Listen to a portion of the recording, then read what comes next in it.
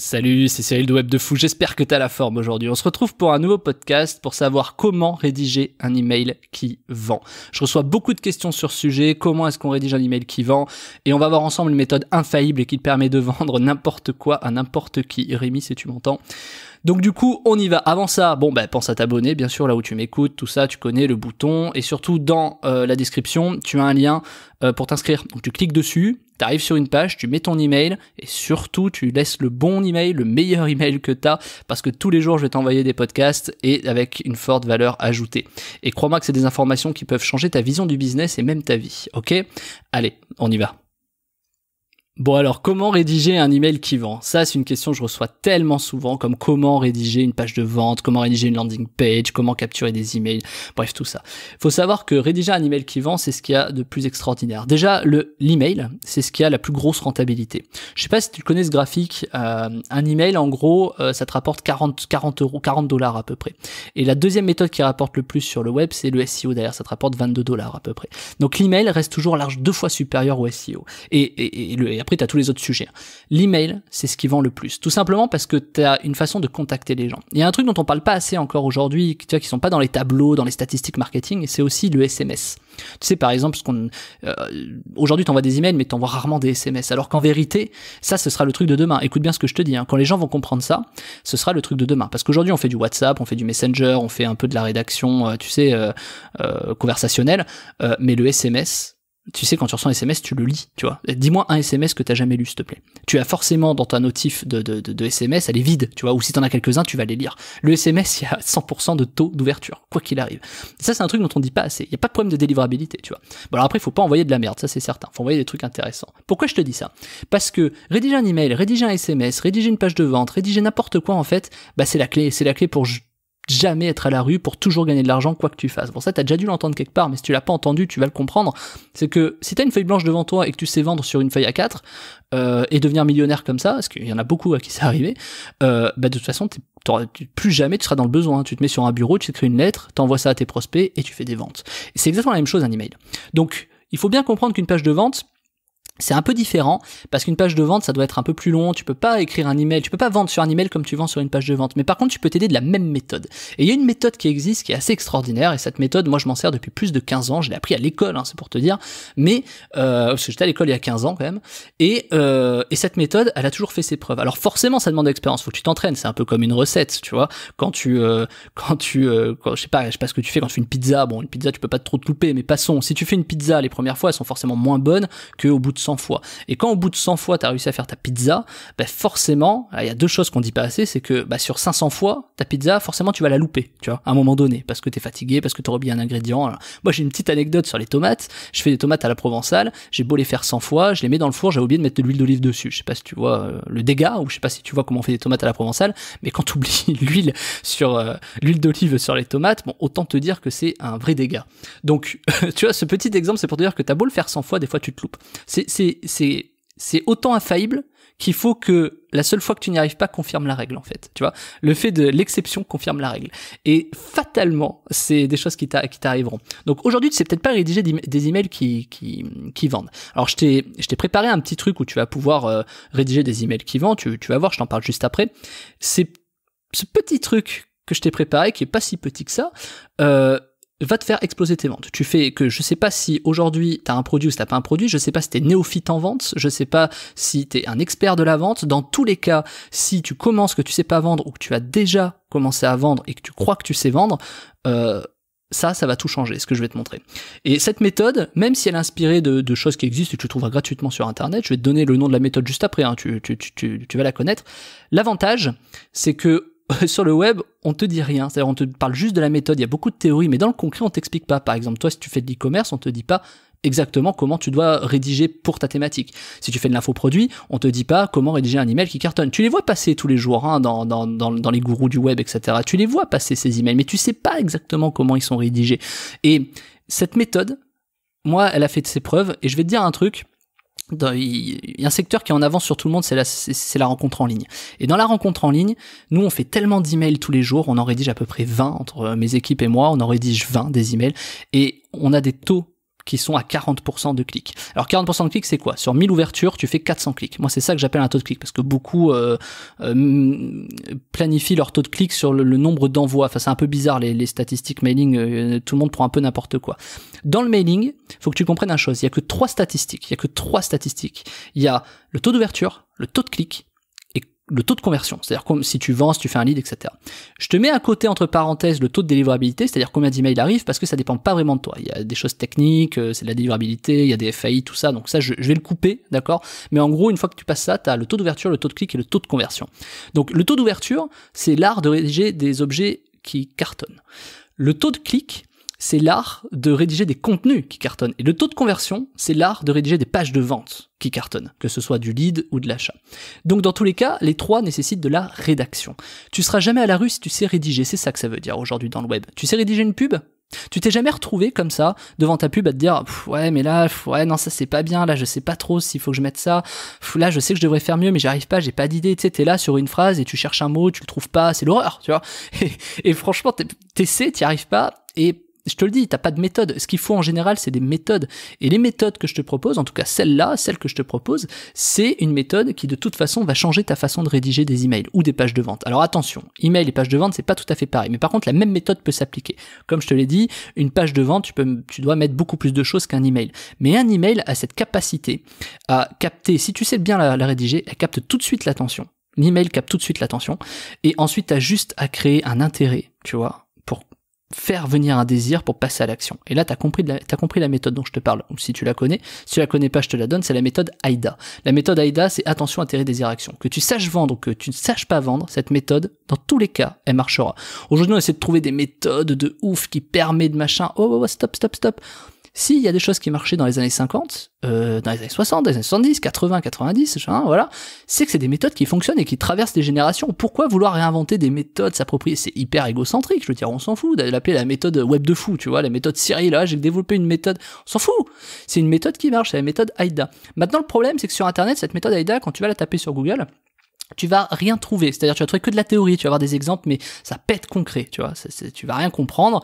Tu vas dire, ouais, mais alors, c'est quoi exactement l'attention? Comment j'éveille l'attention? C'est, quoi le, ok, moi, mais moi, dans mathématiques, moi, euh, moi, je vends des poneys, tu vois. Donc, comment j'éveille l'attention? Je, je sais pas faire. Ou moi, euh, euh, tu vois, je travaille dans des sociétés industrielles et je vends de la métallurgie. Donc, excuse-moi, quand je fais un email, comment je crée une attention, quoi?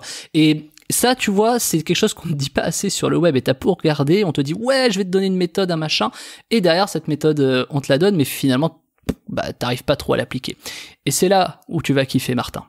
C'est que moi, je t'ai préparé une petite méthode petite méthode. Je la mets pas gratuitement, tu sais déjà parce que je bosse pas pour rien, mais ensuite parce que quand c'est gratuit, les gens ils la mettent dans, leur dossier et ils l'oublient. Ou ils la regardent vite fait, ils l'oublient. Et puis ils retrouvent un an après, ah ouais c'était quoi ça? Bah je sais pas, poubelle. Donc du coup les gens s'en foutent. Je sais pas si t'as déjà organisé des conférences, mais quand tu fais des conférences gratuites, t'as 100 inscrits, t'as la moitié qui viennent. Quand tu fais des conférences payantes, t'as 100 inscrits, t'en as 100 qui viennent. Donc de toute façon, à partir du moment où tu es engagé avec une carte bleue, euh, ben forcément forcément tu vas jusqu'au bout. Et moi je veux pas des clampins chez moi, je veux pas des gens qui, qui sont là en touriste en mode oui euh, euh, non mais là je veux de la gratuité, tu comprends. Non non non, ça a jamais marché la gratuité, il faut que tu t'impliques, c'est fatalement ça. Donc j'ai quand même mis un prix accessible parce que je veux pas je veux pas te vendre ça. Franchement ça vaut ça vaut ça vaut énormément d'argent, ça peut valoir des centaines de milliers d'euros parce que moi personnellement j'ai fait des millions et c'est pas une phrase en l'air, j'ai fait des millions d'euros avec cette méthode. Et je vais te donner des exemples concrets dans ta thématique, que tu sois dans l'e-commerce, que tu sois dans l'infoprenariat, que tu sois euh, prof, tu vois, ou que tu fasses du coaching, que tu fasses. Il y a plein d'exemples dans ce, dans, ce petit truc. Je t'ai mis quelques bonus avec des exemples clairs de lettres. T'as juste à les regarder, à les copier-coller si tu le souhaites, pour que ça marche. Maintenant, je te déconseille de les copier-coller pour une seule raison. C'est parce qu'une fois que tu auras envoyé un email, eh ben le deuxième tu sauras pas le rédiger. Et ça c'est un peu la merde. Parce que le but c'est quand même que tu apprennes non pas à avoir un email qui marche une fois, mais que tu arrives à comprendre la méthode qui fait que tous les jours tu peux rédiger des emails qui marchent. Ok? Moi ces emails je les réserve personnellement quand je fais des, que je dois faire des, de belles ventes. C'est-à-dire que je sais que j'ai un bon produit, je sais que les gens sont intéressés et il faut que je leur vende le truc pour que pour qu'ils y aillent jusqu'au bout. Je te dis ça parce que si tu fais ça tout le temps, euh, ça marche pas non plus, tu vois. Faut savoir se réinventer. Et c'est un peu le problème qu'on a du mal à matérialiser, c'est que tu vois, euh, rédiger un email par jour c'est facile, euh, mais pouvoir vendre une fois par jour dans un email c'est pas la même chose, tu vois. Et le copywriting dans un email, euh, c'est franchement c'est un art, parce qu'on parle des pages de vente, mais les pages de vente, tu vois, tu peux mettre deux semaines à les rédiger le temps que ton produit sorte. Un email, quand tu envoies un email par jour, crois-moi, tous les jours, euh, t'as 24 heures en fait. Hein. Donc il, faut, il vaut mieux que tu une méthode et il vaut mieux que tu saches comment faire. Et je vais te donner une petite valeur ajoutée dont on parle pas assez. Euh, ça, ce que je vais te dire, ça, cartonne. Je sais pas si tu fais du dropshipping ou quoi, mais moi je trouve que c'est une, une, un truc de dingue, un truc de malade. Tous les mecs du dropshipping, tous ceux qui font du dropshipping, je dis les mecs, mais les nanas aussi, tous ceux qui font du dropshipping, sans exception. Qu'est-ce qu'ils font? Ils font des retargeting, tu sais, sur les paniers, ils font des mails clients, bienvenue, machin, etc. Ils envoient plein de mails, mais en fait, ils en envoient jamais. Je m'explique, c'est qu'ils t'envoient ces mails-là, mais jamais ils font de la relation client. Ils font une pub Facebook, ils font vendre le produit, point, histoire réglée. Personne passe du temps à rédiger un email par jour sur sa boutique pour euh, bah pour vendre des produits ou des choses comme ça. Ou alors s'ils le font, ils vendent des promotions. Ah, moins 40 sur le machin, euh, ah, euh, moins 30 sur le cosmétique, crème machin, bio. Ah, et puis attention, c'est bien, c'est nul, c'est nul, tu t'as pas du tout envie d'acheter en plus avec des trucs comme ça. Et pourquoi je te dis ça? Parce que si tu maîtrises cet art grâce à la méthode que je t'ai mis en dessous, si tu rédiges des mails qui pour du dropshipping, c'est simple. Tu vas voir n'importe quelle boutique de dropshipping, tu leur expliques, tu leur montres des stats de vente et ils t'embauchent. Enfin, en tout cas, ils te payent une presta pour faire, pour les emails. Et tu peux te retrouver, et tu, vas voir la petite méthode, tu peux te retrouver à avoir peut-être 10 boutiques de dropshipping à qui tu rédiges des emails. Et tu sais quoi? la méthode est tellement géniale que tu peux prendre un copier-coller sur chaque boutique par jour et faire le même texte sur toutes les boutiques de dropshipping que ça marchera.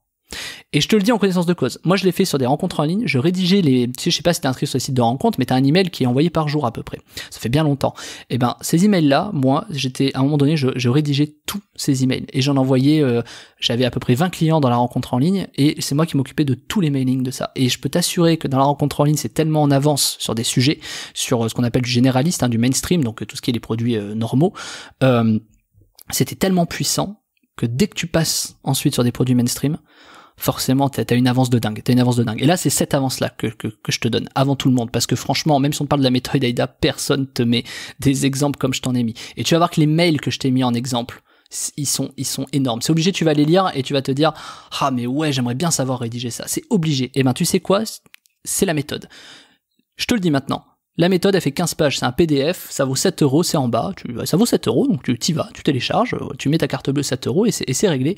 T'as ce petit bouquin, et ce petit bouquin, enfin PDF, j'ai un bouquin, mais voilà, c'est un peu pareil, c'est un Word, hein, et dans ce PDF, t'as tout. T'as tout. T'as la méthode décortiquée de A à Z avec toutes les exemples pour chaque étape et plein d'exemples. Je te mets même des exemples de mails qui ont cartonné chez moi, euh, que ce soit pour mes clients ou pour moi, en tout cas des mails que j'ai rédigés. Et tu vas voir, hein, regarde bien, elles font toute une page, les, les mails rédigés.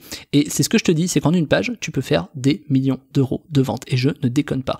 Et quand tu auras compris ça, relis, relis, relis. Et tu sais quoi, s'il te plaît, fais-toi des exemples et envoie-les-moi envoie-moi ces exemples parce que moi je veux voir si tu as bien compris ce que, je t'ai appris. Et si tu as besoin d'un accompagnement, si tu as besoin que je t'aide, si tu as besoin que je, t'aide à rédiger des emails, je vais pas te proposer le, fait de les rédiger pour toi, tu vois, mais si tu veux que je t'aide à rédiger des emails, euh, pas de souci, je serai là. Mais s'il te plaît, envoie-moi des exemples quand tu auras euh, pris ce, ce, cette formation, cette mini-formation tu, tu, vas, tu vas halluciner des résultats que tu vas avoir. Quand tu auras compris le système, j'ai tout décortiqué, tu vois. C'est pas magique, hein, t'as pas à faire un copier-coller, je te le redis. C'est-à-dire, euh, moi je vends jamais des trucs en copier-coller, ça, ça marche pas en fait, le copier-coller. Il faut que toi tu comprennes d'abord, il faut que toi tu sois à l'aise, il faut que toi tu comprennes comment ton audience marche. Et Quoi de mieux que de tester? Et tout ce que je t'ai mis là-dedans, tu trouveras jamais mieux ailleurs. Franchement, c'est nulle part ce que je t'ai mis dedans. Des tests comme ça, c'est les miens, tu les as jamais vus nulle part sur le web, et ils sont tellement puissants que si tu arrives à t'inspirer, tu verras que c'est toujours la même méthode qui est utilisée, et tu le verras peut-être pas en fait. C'est-à-dire,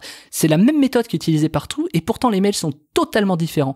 Et quand tu auras bien analysé la méthode et relu plusieurs fois la petite formation, tu vas tout de suite voir en fait pourquoi c'est aussi simple que ça à rédiger. Et tu vas tout de suite voir que, ah mais, oh, tu vas avoir un petit déclic, tu vas te dire, ah mais en fait oui c'est ça qu'il me fallait. Et tu seras plus jamais emmerdé devant ta pub à te dire quelle phrase je mets, comment je rédige, qu'est-ce que je fais, quel plan, ok une fois que tu as fait ta pub, quelle page de vente, ah oui et si je capte des emails, comment je fais, est-ce que je vais euh, bien rédiger, Alors, parce que entre rédiger des pubs, rédiger des pages de vente, rédiger des emails qui marchent, oh là là, si t'as pas une méthode t'es foutu. Et si, en, et si en plus t'as une méthode mais qui marche pas t'es encore plus foutu. Donc là t'as une méthode qui marche qui en plus te permet de gagner du temps, ça tient en une page, en une page. Alors petit disclaimer, la page de vente, il faut pas que ça tienne euh, sur une page à 4. Une page de vente, ça doit être un peu plus long, forcément. Enfin, en tout cas, ça dépend. Ça dépend si tu fais de la pub sur la page de vente ou pas. Mais c'est un autre sujet, on y reviendra plus tard dans d'autres podcasts.